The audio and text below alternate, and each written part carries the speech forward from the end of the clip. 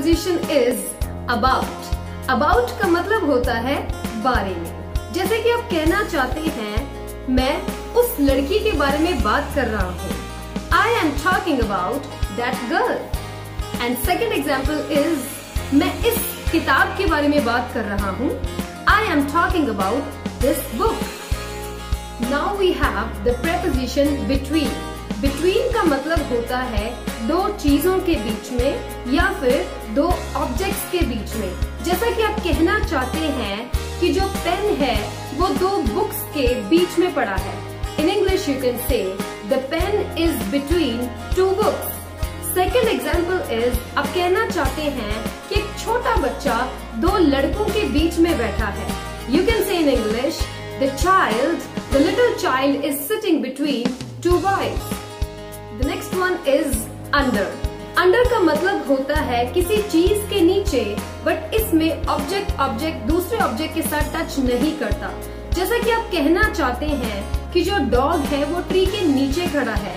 In English you can say the dog is standing under the tree here you can see कि जो dog और tree है there is no touching between the two तो इसीलिए ऐसे case में आप अंडर प्रेपोजिशन का इस्तेमाल कर सकते हैं। On the other hand we have beneath और अंडरनीथ इसका मतलब होता है किसी चीज़ के नीचे बट यहाँ पे there is a touch between two objects जैसा कि आप कहना चाहते हैं कि मेरी लेटर बुक्स के नीचे है.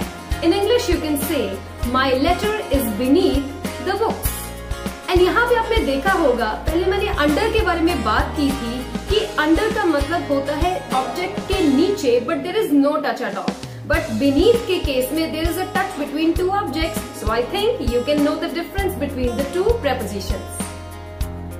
Now we have among.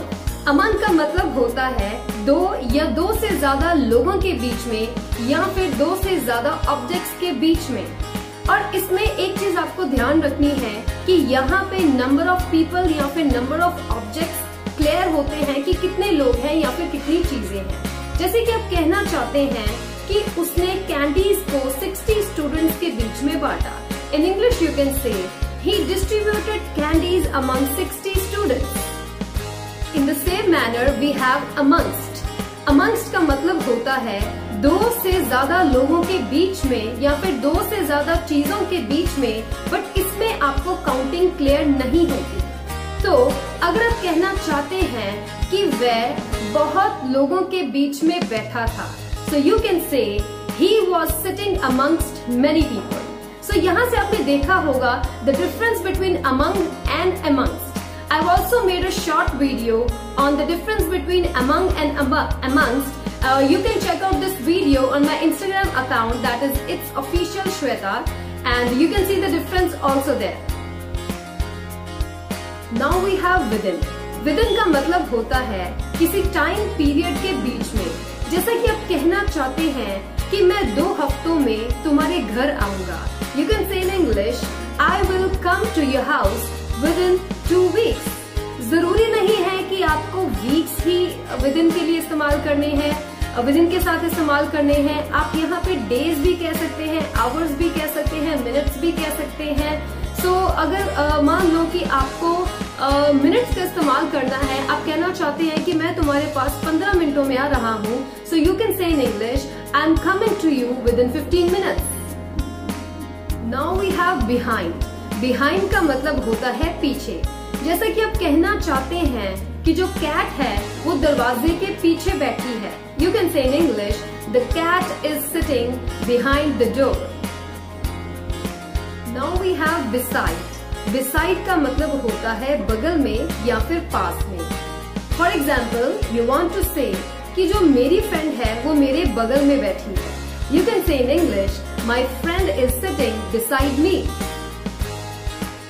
the next is across across का मतलब होता है के पार। जैसा कि आप कहना चाहते हैं, उसकी दुकान सड़क के उस पार है। You can say in English his shop is across the road इसी तरीके से आप कहना चाहते हैं कि वो नदी के पार तैर गया। You can say in English he swam across the river then we have around around का मतलब होता है चारों ओर। जैसे आप कहना चाहते हैं कि जो पृथ्वी है वो सूरज के चारों ओर घूमती है। In English you can say the earth revolve around the sun So this was all about this video. I hope you like this video. Before going, I want to tell you an information that do follow us on Instagram by the name Ed Sacred International because we are also uploading many of the other videos which are not available on this YouTube channel. They are related to grammar. So I know you all are having problems in grammar. So definitely follow us on Instagram. And uh, till then, take care. I'll be back soon with a new lesson. Bye bye.